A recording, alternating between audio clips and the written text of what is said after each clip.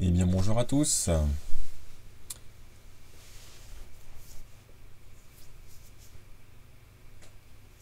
Eh bien écoutez, euh, on va commencer cette, euh, cette petite semaine euh, eh avec une petite émission.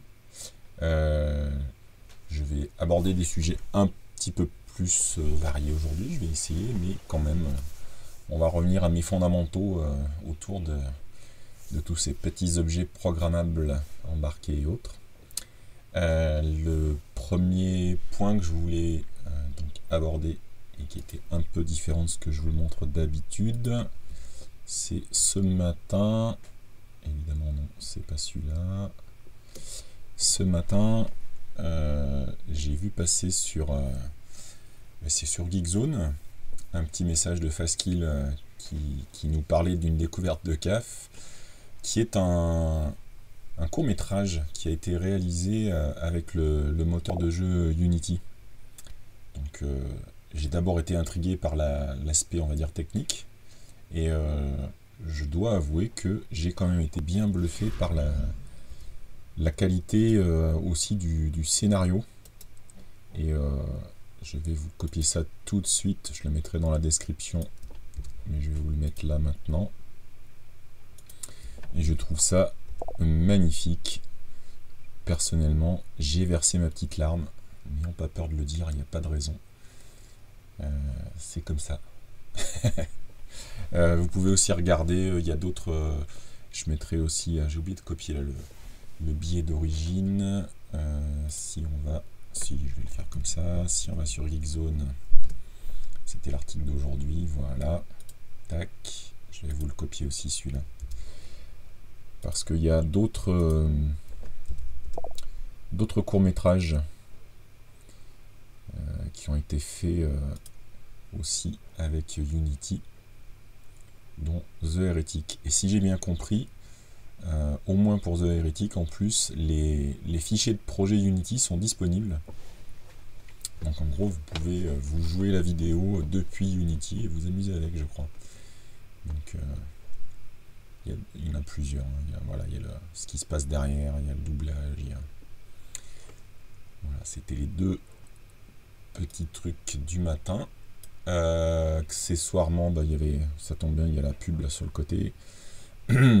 Certains ont vu que j'étais pas super enchanté du démarrage la semaine dernière de, de la série euh, Vendavision. Euh, pas par le côté référence à des sitcoms américaines des années euh, 50 et 60, ça pourquoi pas, je trouve que c'est intéressant. Mais je trouvais que par rapport à, tout de même l'univers Marvel qui est censé être derrière, c'était euh, un peu trop pointu. Pourtant, euh, je suis plutôt passionné par ça, mais je trouvais que c'était quand même très très pointu. Ça a régalé les, les- fans hardcore, mais, euh, mais c'était un peu difficile à, à appréhender comme ça, euh, sans un gros gros background et passer son temps à regarder, je sais pas, les, les motifs de la cravate de vision ou du papier peint. Enfin, il y avait des choses, euh, voilà, quand je dis pointu, c'est très pointu.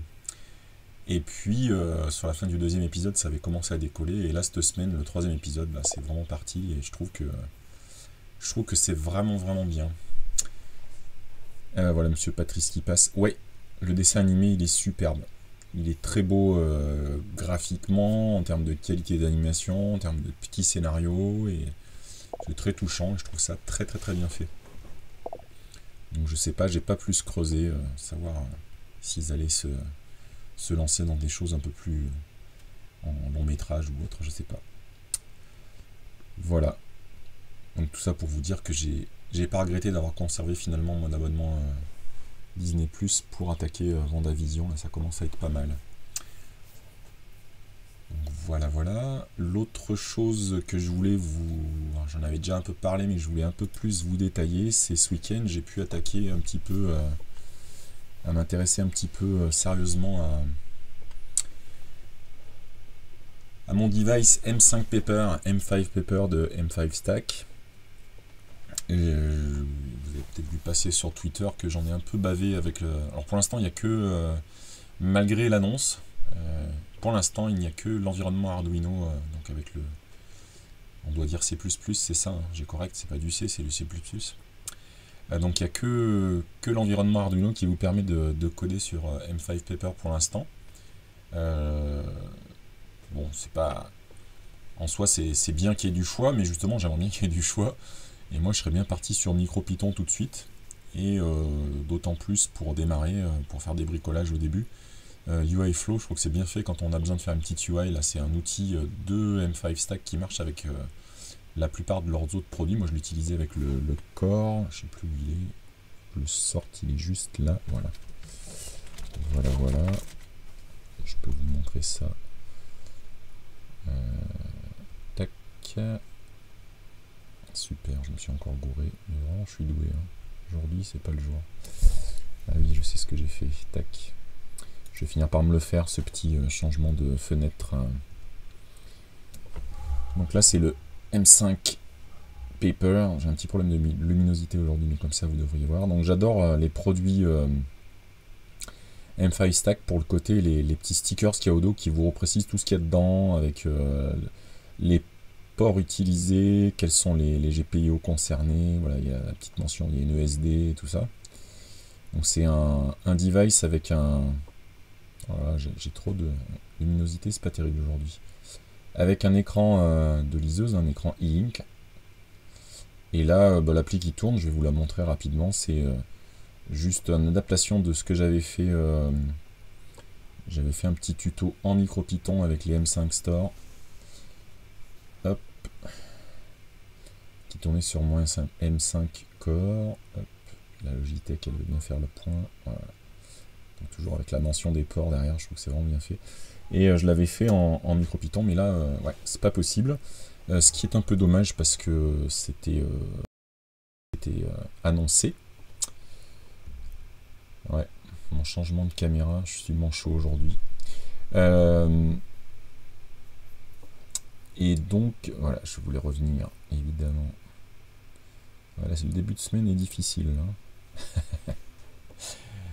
et donc, euh, ouais, voilà, il l'annonce comme étant fonctionnel avec UIFlow, Arduino et MicroPython. Et à l'arrivée, il n'y a que Arduino, donc je trouve ça un peu dommage. Je sais qu'ils travaillent dessus, je sais qu'ils ont besoin de vendre, c'est pas une grosse boîte et tout, mais je trouve ça dommage de sortir le produit parce que au niveau hardware, il est, moi je trouve qu'il est plutôt bien fini et je pense qu'ils l'ont bien réfléchi, donc euh, pas de problème pour le hardware. Mais la réalité, c'est qu'il va encore falloir patienter euh, pour avoir le plein usage. Alors, moi, côté Arduino, pour l'instant, avec ce que j'ai eu fait là, j'ai pas eu trop de limitations, mais de ce que j'ai lu dans le forum, il reste encore pas mal d'API à, à, implémenter. Donc, c'est pas complet complet, mais bon, c'est déjà, déjà pas mal. Euh, l'autre truc avec lequel j'ai joué, mais là c'est pas de leur faute, c'est le capteur SHT30 qui euh, permet d'avoir la température. Euh, bah, moi il a un décalage de presque 3 degrés avec la température réelle, c'est constant. C'est comme s'il y avait un... Je l'ai pas vu sur la datasheet du composant. C'est comme s'il y avait un décalage, un décalage permanent là-dessus. Mais enfin bref, donc j'ai pu manipuler la température, j'ai pu faire des exemples avec l'aspect touchscreen. M5 et MicroPython, ouais, pour bien les exploiter, c'est Arduino dans la réalité Je sais pas. Je sais pas parce que euh, mon M5 Core, euh, ce qui est implémenté en MicroPython, euh, ça, ça, fonctionne très très bien, j'ai pas eu de soucis particuliers. Là, c'est juste que c'est pas prêt. MicroPython, c'est encore discutable. Ce qui est plus embêtant, c'est UIFlow parce que avec UIFlow vient toute la partie qui leur permet de changer éventuellement le firmware donc là, c'est plus embêtant parce que bah, pour l'instant, ils n'ont pas, publié évidemment de nouveaux firmware puisqu'ils n'ont pas l'outil qui permet de le flasher de manière simple. Après, il se trouve que c'est ce que je trouve particulièrement savoureux, c'est que la partie Arduino euh, de base, c'est pas dû à M5 Stack. Hein. pour tout ce qui est ESP32, aujourd'hui, c'est la merde, il n'y a pas d'autre mot, puisque les librairies qui s'installent dans Arduino eh ben ça utilise en fait Python dessous pour euh, utiliser ESP euh, e pour tout ce qui est euh, bah, flash et manipulation de, l'ESP32. Et l'intégration dans Arduino, alors je ne sais pas ce qu'ils font exactement, mais en tout cas, il n'y a pas le contrôle du Python qui va être utilisé, de l'interpréteur Python qui va être utilisé. Et en tout cas, actuellement sur macOS, ça va chercher le, Python du système sans vous demander s'il y a autre chose ailleurs. Ça utilise Python 2.7 et euh, ça marche pas du tout pour plein de trucs. Et euh, surtout, ben, vous vous retrouvez à devoir euh, importer pour que ça fonctionne. Enfin, c'est un bricolage où on finit par importer. Je vous l'ai mis là, c'est un workaround qui est indiqué ici. On finit par importer euh, le package PySerial, mais en, le piochant dans les packages Python 3 et en le bourrant dans Python 2 et ça passe. bref, c'est un peu bancal. À l'arrivée, on a un Arduino qui fonctionne, mais euh, c'est pas joli joli. Donc, euh, limite, je vais regarder parce que c'est un truc que j'avais déjà fait, mettre le plugin pour la partie compilation Arduino euh, dans VS Code, parce qu'en plus je trouve que l'éditeur est quand même plus sympa dans VS Code, faire tout ton code là-dedans, compiler avec le compilo à côté, et utiliser directement le vrai ESP Tool qui pour la peine quand tu le manipules à la main, puisque je l'ai utilisé avec plein d'autres ESP32, euh, j'ai une install avec un vrai environnement Python 3 propre dans un environnement virtuel dédié, j'ai les librairies qu'il faut pour ESP32, ESP Tool et tout, et ça, ça fonctionne. Donc c'est peut-être la solution plus propre, c'est euh, de sortir de l'Arduino IDE que j'aime vraiment pas, quoi. J'arrive pas à m'y faire. J'ai bossé euh, tout mon dimanche après-midi là-dessus, c'est vraiment une cata. Euh, seul point sympa que du coup j'utilise très peu l'Arduino IDE que j'avais zappé, il y a un truc intéressant, c'est que il y a un raccourci clavier qui est CTRL-T ou Command-T sur un Mac qui permet de, de reformater euh, de manière un peu propre son code. Parce que ça manque quoi, c'est pas vraiment, ils appellent ça un IDE, mais les retours à la ligne, ça ne reformate pas propre par rapport aux accolades ouvertes, il y a un tas de trucs, il n'y a pas de complétion, enfin c'est un peu une cata. Euh, je pense qu'il vaut mieux passer, ça y est j'ai mangé le nom, pour tout ce qui est Arduino, il y a un environnement un peu plus adapté si on veut un truc comme ça qui est en ligne, il faut que je le retrouve, où il y a de la complétion. Mais moi, ma, solution VS Code pour, pour ce que je fais du C, là c'est vraiment, j'ai pas le choix, j'ai envie de faire des choses avec le M5 Paper, mais euh, voilà, à mon niveau, j'ai pas de blocage. Je sais qu'il y a plein de gens qui trouvent que, et à raison, hein, le C est plus performant pour plein de trucs. Moi, ça m'intéresse pas. Euh, j'ai des projets simples et j'ai envie d'avoir du code simple que je connais bien. Donc je vais activement euh, chercher à contribuer à pousser MicroPython sur le M5 Paper. Mais en attendant, je vais quand même vous partager pour vous montrer un peu la tête que ça a. Euh, quand on a, parce que je trouve que c'est, à terme, ce sera une des, un des SDK de chez M5 Stack les plus complets, il y a vraiment un peu de tout, et euh, donc il y a, euh, par défaut, leur librairie, alors c'est open source, hein, je vous montrerai le lien, leur librairie manipule la partie écran en vous proposant le, le canvas, on, va pouvoir euh, positionner euh, verticalement, horizontalement, suivant le, mode que vous voulez. Euh, la manipulation de texte est relativement simple. Les fontes, c'est un peu plus compliqué, mais il y a de quoi charger, parce qu'il y a une petite carte SD qu'on peut rajouter sur le côté pour mettre des fontes additionnelles. Plateforme IO, merci Miflor. c'est bien mieux que l'IGONA. Ouais, mais le problème, c'est qu'aujourd'hui, les, les, tutos de toutes les marques, tout confondu, on, commence par vous dire de télécharger Arduino IDE dans 80% des cas. Donc, euh, encore une fois, euh, c'est ce que je répondais ce, week-end.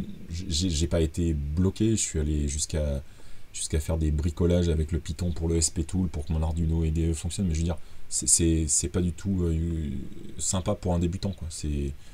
Alors que si on est avec un, si on a quelques notions un petit peu de logique et un peu de programmation, se en C, c'est pas tellement plus dur que, Python. Je trouve que c'est un peu plus dur, mais c'est pas insurmontable. Et là, ça bloque euh, pour tous les gens qui voudraient. Il y a, des, cartes microcontrôleurs, il faut, il faut coder en C, il n'y a pas le choix. Et je trouve dommage que l'Arduino IDE, euh, ou alors mettre en avant plateforme IO plus fort, quoi, je sais pas. Mais euh, là, il y a, un truc pour les débutants qui, qui marche carrément pas. alors qu'à l'inverse, côté MicroPython, je trouvais que c'était difficile à une certaine époque.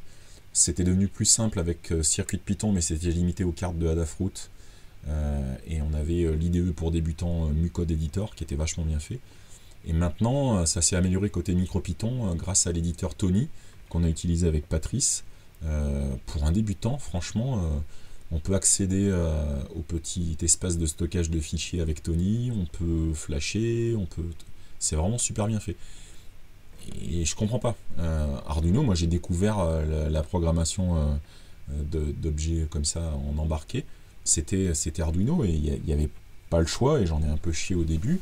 Et je trouve que ça n'a pas progressé de ce côté. Alors c'est peut-être dû au fait euh, ben, que Processing qui est derrière tout ça, ben, ça, a toujours la même tête, ça n'a pas évolué. Mais ouais, il y a des trucs, c'est pas... En 2021, pour un débutant, devoir taper du code sans avoir la complétion, sans pouvoir cliquer un peu quelque part pour aller directement à la doc de telle ou telle librairie. Enfin, il manque plein de choses pour un débutant qui manque vraiment quoi. Pas besoin de faire une usine à gaz, mais je vous conseille de. J'ai fait quelques vidéos là-dessus, mais que ça soit Tony ou. Alors Tony, j'ai pas publié avec Patrice, il faut que je fasse le petit montage de la, petite vidéo qu'on a fait ensemble. vous verrez, Tony ou Mucode Editor pour un débutant, c'est ça roule tout seul, hein. il n'y a pas grand chose à, préciser, ça fonctionne vraiment très très bien. Bon, toujours est-il que, voilà, je voulais vous montrer euh, la suite. J'ai redécouvert les joies euh, de, du stockage en EPROM euh, de tout ce qui est credential et API key pour pas les mettre dans les exemples de code. Par exemple, quand on fait des vidéos ou des lives, pas montrer mon mot de passe Wi-Fi à la limite, mais euh, les API keys c'est déjà plus gênant. Euh, par exemple, ça c'est un point qui est dix fois plus facile à gérer euh, avec un circuit de Python ou micro Python. Vous posez un fichier à côté avec vos settings et vous les lisez directement. C'est ce que ça fait à l'arrivée là, mais franchement c'est pas aussi bien documenté aussi facile d'en arriver là. la partie Wi-Fi, ça, c'est de l'Arduino euh, classique, mais il fallu que je me remémore un peu comment ça fonctionnait. Et puis, euh, donc là, ça s'est bien amélioré en C. J'ai trouvé une librairie assez sympa euh, pour, pour manipuler la partie, la partie JSON, puisque la, donc OpenWeather, pour ceux qui ne connaissent pas, je vous mettrai le, lien vers la petite, la petite vidéo que j'avais fait à l'époque. Mais OpenWeather, voilà, bonjour la vie privée, je suis en train d'installer PyHole, ça va bientôt servir. Euh, ça vous permet d'avoir euh, des informations de météo et euh, si vous vous enregistrez, d'avoir accès par une, API web. Vous allez pouvoir interroger leur serveur il va vous retourner les, infos qu'ils ont sur un point précis que vous choisissez. Donc je vous mettrai le lien de, ma vidéo que j'avais faite là-dessus. En gros, c'est une espèce d'adresse à appeler euh, sur OpenWeatherMap qui est formaté comme ça. On lui rajoute un paramètre qui est euh, la ville qu'on vise. On rajoute la clé, on lui précise qu'on utilise le système métrique euh, pour avoir des degrés Celsius. Et après, on se retrouve à décoder. Tu as fait tes devoirs, Patrice? Ah ah Eh bien écoute, je serais ravi d'en rediscuter avec toi, qu'on voit où en est le, le Padawan. Je sais pas comment je vais appeler la série, j'hésite encore. Peut-être le pharmageek euh, ferroviaire, je sais pas, quelque chose comme ça. On verra si tu des suggestions. Euh, je publierai la première vidéo et puis il faut qu'on regarde un petit peu où tu en es pour euh, que tu puisses continuer d'avancer. Et puis si ça te tente en cours de route de plus faire du micro Python mais de revenir à, du C, je, connais le contournement sur macOS maintenant donc on peut en faire aussi. Donc voilà, c'était pour vous montrer la tête que ça avait pour ceux qui ont l'habitude sur ma chaîne de voir plutôt du Python. Euh, je fais aussi du C, ça m'arrive. N'importe nawak. Ça peut être un joli titre aussi de série avec toi, ça marche. Donc voilà pour le M5 Paper que je voulais vous montrer. Euh, je vous mettrai le petit contournement euh, très très dégueulasse à mon sens, mais c'est le seul pour faire fonctionner aujourd'hui Arduino IDE. Je vais aller creuser quand même la piste à la fois VS Code et plateforme IO parce que il n'y a pas de raison que je ne connaisse pas cet environnement euh, un peu plus à jour, même si je préfère Python. Euh, chez M5 Stack, euh, il y a énormément de toute façon d'open source. Je dirais pas tout, parce que je n'ai pas, pas, tout vérifié, bien entendu. Notamment, je ne pense pas, vite fait d'ailleurs, je crois pas que leur partie UIFlow soit dans leur GitHub. Si, UIFlow transition, UIFlow, si, si, aussi, si, si. Si, c'est normalement c'est à peu près tout, là, il y, a tout ce qu'il faut. Donc oui, ils sont en plus euh, très ouverts. Il y a juste, bah, j'ai l'impression qu'ils ont un peu de pression euh, pour vendre, euh, pour vivre, c'est normal. Et du coup, ils sortent des produits avec de belles étiquettes de compatibilité qui sont pas encore, sont pas encore là. L'autre point dont on n'a pas parlé parce que c'est sorti juste en même temps que ma dernière émission, j'ai fait le mercredi et le jeudi ça sortait c'est quand même l'événement de la semaine dernière pour moi en tout cas, c'est que la fondation Raspberry euh, met un pied dans le monde des microcontrôleurs après avoir fait les, ordinateurs avec euh, tout ce qui était Raspberry Pi. Euh, ils ont sorti quelque chose qui, qui, est comme toujours un peu différent de ce qui se fait habituellement, dans le sens où leur microcontrôleur est peut-être pas révolutionnaire, mais leur chip c'est à eux. C'est-à-dire que le, son joli petit nom, c'est RP2040. c'est le chip qu'il y a sur leur carte, qui elle s'appelle la Raspberry Pico. qui est la carte avec tout ce qu'il vous faut, les connecteurs USB, qui, est vraiment l'utilisation du chip RP2040, c'est leur implémentation. Mais ils ne se sont pas arrêtés là, vu qu'ils ont leur, euh, leur, chip, ils ont travaillé en collaboration avec euh, d'autres, euh, on va dire, grands noms de l'électronique éducative. donc là, vite fait, je, vous, je vais vous mettre le lien directement dans le chat pour que vous y alliez. je vois qu'il y a des commentaires sur l'ultra low tech, on va préciser ça peut-être. Donc c'est leur chip à eux, ils ont la maîtrise de tout ça, et ils ont travaillé, alors ils font leur carte, qui est entre guillemets la carte de référence, puisque c'est eux qui l'a sorti initialement, mais ils ont travaillé avec euh, par exemple Adafruit, qui sort donc euh, dans leur gamme au format euh, Feather et au format Itsy Bitsy qui est plus petit. donc ils sortent des, variétés de cartes toujours autour du même chip. Alors leur chip, c'est basé sur... c'est un Cortex, ou c'est pas un Cortex M7, c'est un M0+, je crois. Et voilà, le dernier, les deux derniers que je voulais aborder aussi, c'est que Arduino sort un modèle de carte basé sur leur RP2040 et il va y avoir tout le merveilleux système, j'ai pas encore craqué pour tout ça, mais chez Pimoroni, on a été mis à contribution et il y a vraiment plein de petites choses sympas en add-on qui sont sorties, je vois qu'il y a SparkFun aussi qui en sort une, enfin ça va devenir une petite référence, euh, je pense, dans le monde de l'apprentissage. Donc pour revenir sur ce qu'il y a dedans, c'est un, donc un ARM, un Cortex M0+. Donc euh, voilà, c'est pas du M7, Mi Flower. Je pense que c'est ça, Binaugure, que tu appelles du, du low-tech, je pense, si je ne m'abuse. Après, personnellement, ça me pose pas de soucis dans le sens où euh, j'ai plein de cartes basées sur des, des Cortex, même des M0 et à des fréquences moindres. Et franchement, euh, ça pose aucun souci. ça permet déjà d'aller relativement loin. Je pense pas qu'il y ait de soucis avec l'aspect euh, RAM qu'ils ont embarqué.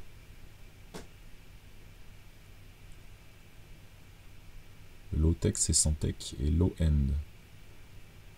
Je m'ai trompé. On peut tous se tromper, tout va bien. Donc c'est pas un c'est pas un microcontrôleur peut-être euh, ce qu'il y a de plus euh, il y a un peu une course à l'armement en ce moment je trouve dans les microcontrôleurs mais honnêtement il y a les trois quarts de ce que je fais aujourd'hui, je pourrais encore le faire avec une Arduino Uno, peut-être pas tout, tout, euh, ou avec un ESP8266. La plupart des choses sont encore faisables, donc il euh, faut aussi relativiser. Euh, quand je vous ai montré l'autre jour, tac, c'est plus. Vous allez le voir là, la, la console de chez Pimroni, la 32 bits, la 32 bits, qui se retrouve avec un STM32 avec un H7 dedans qui tourne à des 450 MHz. Je veux dire, euh, ouais, ok, c'est des microcontrôleurs, mais euh, on, a, on a la puissance de, CPU euh, il n'y a pas si longtemps. Ça, commence à faire beaucoup. Après, ça, a son usage, hein, c'est intéressant, c'est amusant. Mais je trouve qu'avec ces chips-là, on peut, on peut déjà aller vachement loin. Et moi, ce qui m'intéresse dans tout ça, c'est que on avait Arduino, mais ils avaient un peu, je trouve, euh, j'en ai parlé tout à l'heure, je pense que côté logiciel, euh, je pense qu'ils ont encore beaucoup à apprendre pour revenir dans, les vrais débutants, et je parle même pas des enfants, je ne vais pas faire un atelier avec Arduino IDE avec des enfants si j'ai pas moi-même installé les machines avant. Euh, il y avait Adafruit de l'autre côté, mais quelque part, ils détournaient un peu certaines choses vers eux en imposant un peu des standards qui étaient partiellement suivi, mais pas beaucoup. Et là, peut-être que là, on tient peut-être quelque chose d'un petit peu plus unifié euh, et qui devrait favoriser un écosystème euh, très riche pour euh, quand on débute et peut-être, j'imagine, après par la suite. Mais pour les débutants, moi, je, je cautionne à mort le fait que la fondation ait maintenant la maîtrise de leur chipset. En plus, je trouve que c'est il n'y a, plus les petites râleries autour de les Raspberry Pi avec les, chips qui seraient pas eux ou je ne sais quoi. Là, on commence à avoir une solution, 100% fondation, ça va pouvoir être diffusé à, large échelle et très ouvert.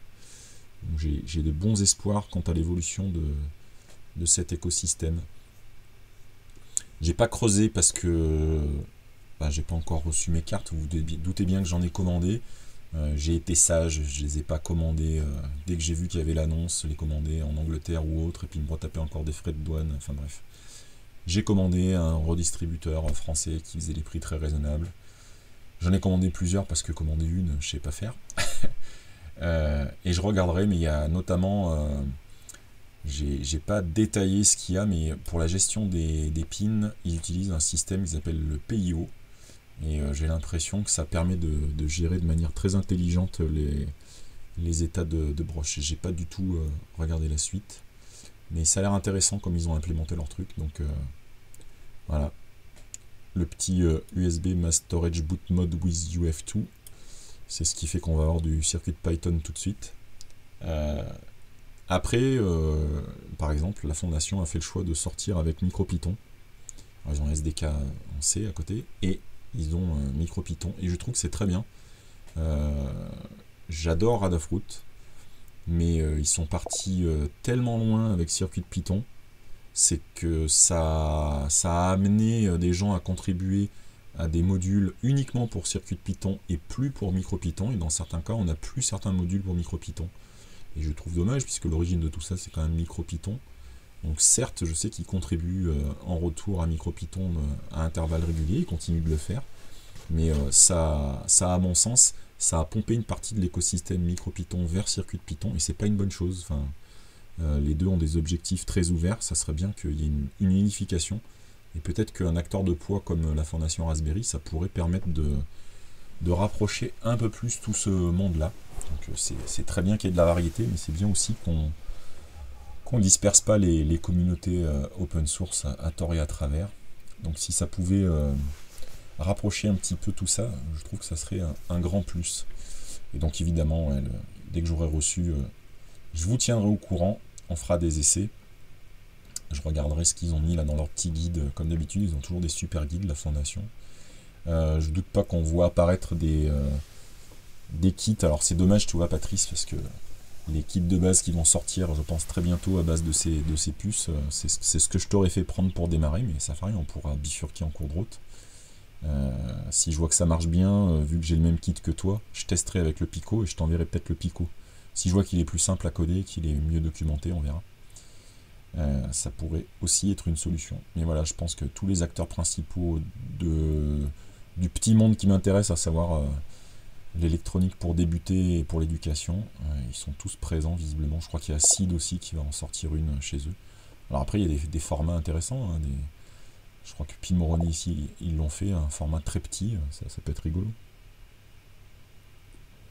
Des projets en tête à réaliser avec ça euh, Ben, absolument tous les projets que tu peux imaginer avec un microcontrôleur.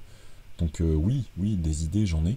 Euh, j'en ai, puisque c'est ce que je fais avec d'autres microcontrôleurs et c'est parfaitement, euh, parfaitement adapté. Et je pense que je veux creuser cette histoire de PIO justement pour voir si c'est pas si c'est pas un peu plus adapté que ce que j'ai sous la main. Mais par exemple, j'ai euh, avec Patrice des projets d'animation de diorama. il va y avoir de la gestion de sonorisation, de détection peut-être de passage de train dans un diorama de, modélisme ferroviaire. Ça, la, la, Pico, elle aurait sa place largement. Euh, voilà. Je pense que comme n'importe quel, euh, je ne sais pas si, ta question c'était au sens large avec un microcontrôleur ou spécifiquement avec la Pico.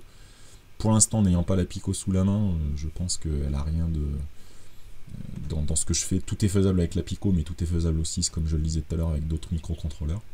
Mais j'aimerais bien creuser cette histoire de PIO. J'ai pas lu tous les articles, notamment ceux de Les là, qui a pas mal détaillé il s'est fait 48 euh, heures d'articles non-stop pour fouiller et publier tout ce qu'il y avait à publier. Mais spécifique à la Pico, pour l'instant, je dirais, je n'ai pas d'idée particulière liée à la Pico. Euh, à part me faire plaisir avec l'environnement, il n'y a pas toutes les cartes. Mais voilà, la, petite console à la Mini, là, celle-là. Elle ira rejoindre sa, grande sœur, la, la Blit une mini console avec un petit écran, des boutons euh, qui tournent avec un, un, picot, je trouve ça cool, voilà, ces choses-là. Alors sur la consommation, c'est une bonne question. Euh, les, Cortex M0 que j'ai dans d'autres cartes sont aussi à, ces, fréquences-là. Euh, le M5 Paper par exemple, tiens, qui est en ESP32. À quelle fréquence il est le ESP32 dans celui-ci? Voilà, tu vois, par exemple, alors c'est pour des applications plus costauds, mais euh, c'est un, ESP32 qui tourne à 240 MHz. Alors ça, ça gère un écran, mais... Euh, avec les cartes TI, avec une toute petite pile AA, tu tiens un mois complet. Alors tu tiens un mois complet, c'est toujours pareil, ça dépend ce que tu fais avec, j'imagine. Euh, mais j'ai aucun problème à avoir une bonne, euh, une bonne autonomie avec, euh, qu'est-ce que j'ai sous la main, les Iti Bitsy qui sont avec des M0 par exemple. Il y a un mode Deep Sleep aussi et il n'y a, aucun, a aucun problème pour le basculer. Les cartes TI, je connais moins en fait. Je dois en avoir une, j'avais fait un cours pour un, un MOOC américain et c'était un peu plus complexe euh, à manipuler, donc j'ai un peu laissé tomber, je suis resté... Euh, tu as des cartes TI en particulier en tête, euh, Mais c'est pas grave, Patrice. La V2 Kitronic est toujours out of stock. Mais ça va revenir, ça va revenir. Je suis confiant. Tu vas me montrer si tu as bien fait tes devoirs, Patrice. On verra.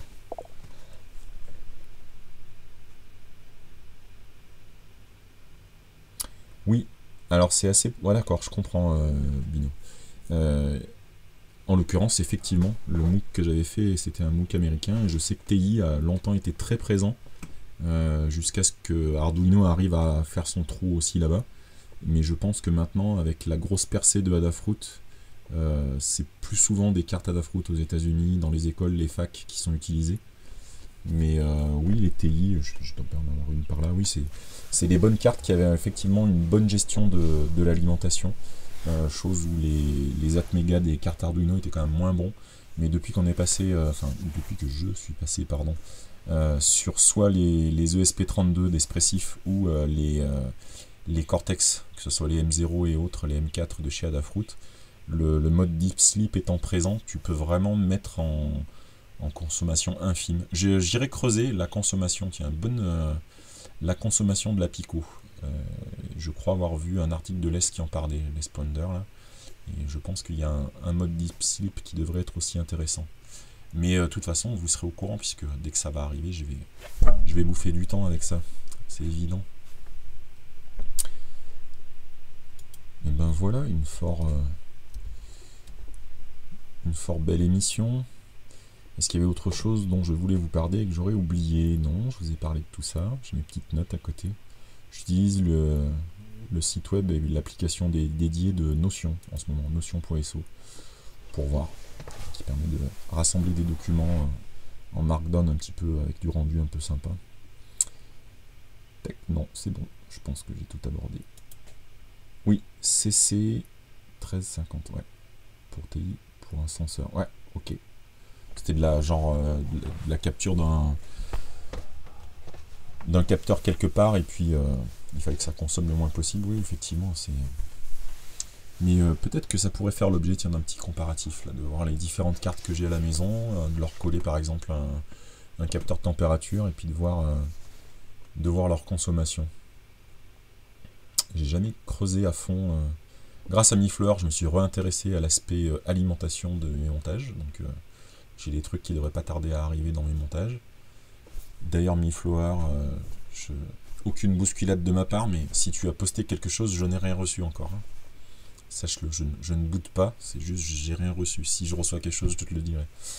Euh, ouais, je pense que l'aspect consommation, ça pourrait faire l'objet de, chouettes comparatifs. Euh, ça servira peut-être pas, tiens, dans les montages, j'étais en train de me dire, dans le montage de Diorama avec Patrice, normalement il y a l'alimentation quand c'est en route, c'est en route. Euh, mais ça, ça peut... Allez regarder la consommation des, cartes Pico. Je vous tiendrai au courant. En tout cas, je vous remercie. C'était bien animé aujourd'hui. C'était bien agréable. Euh, tac, j'ai pris des notes. Je vais bien sûr vous faire la synthèse de tout ce que je vous ai euh, passé. j'ai dû oublier quelques URL. Je vous les mettrai dans la, dans la vidéo. Et puis, je me note de regarder la consommation du Pico, de retourner faire un tour sur la, je sais plus quel modèle c'était, mais les cartes TI que j'avais, après tout, ça peut être l'occasion d'y remettre un peu les mains. Et puis, euh, et puis d'aller faire le point avec Monsieur Patrice. Ah, tout va bien. Enfin, tout va bien. Ton colis a été refusé, donc c'est pas grave. Tout va, tout va bien pour moi, tout va bien. Je n'ai pas raté ton colis euh, avec un souci de poste, tout va bien. Et bien, je vais vous souhaiter une, une excellente après-midi. tu fais bien de dire oui, tonton Patrice, parce que je vais aller venir contrôler tes devoirs, ça va pas tarder. Tu me diras où tu en es. Et puis, je vous dis à très très bientôt. en l'occurrence, ça va être mercredi. Je ne sais pas encore de quoi on parlera. Si vous avez des idées, n'hésitez pas sur Twitter ou euh, sur YouTube. Euh, ça peut des fois faire, euh, faire apparaître une idée d'un projet ou d'une explication si vous en avez besoin. Et je vous remercie encore une fois